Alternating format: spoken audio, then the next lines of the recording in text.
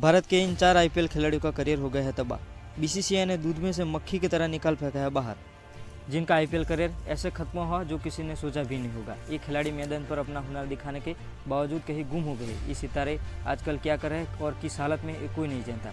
दुनिया भर के क्रिकेटर आईपीएल का हिस्सा बनने के लिए कड़ी मेहनत कर रहे हैं और इस चार खिलाड़ियों का कोई नामो निशान भी नहीं है। इन चार खिलाड़ियों का नाम जानने से पहले चैनल को सब्सक्राइब और वीडियो को लाइक करना ना भूलें।